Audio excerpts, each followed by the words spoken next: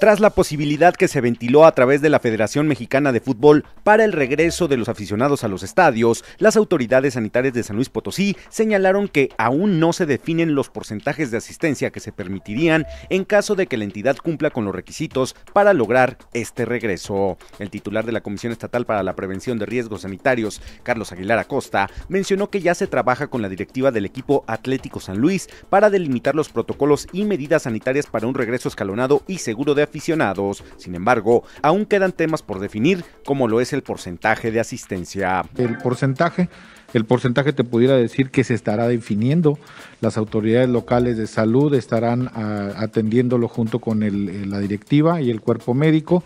con eh, la finalidad de alinearlo al color del semáforo y eh, disminuir la posible eh, o, la, o, o el riesgo de contagio en los aficionados que pudieran asistir eh, a, estos encuentros. Por su parte, la titular de los servicios de salud en el estado, Mónica Liliana Rangel, quien mencionó que se trabaja de la mano con la Federación Mexicana de Fútbol para atender este tema, fue enfática al señalar que mientras las entidades, como es el caso de San Luis Potosí, se mantengan en color naranja, será imposible pensar en un regreso de la afición a los estadios. Y sí ser muy claros, en semáforo naranja, juegos profesionales sin público y así se va a, mantener. En, un semáforo naranja, cualquier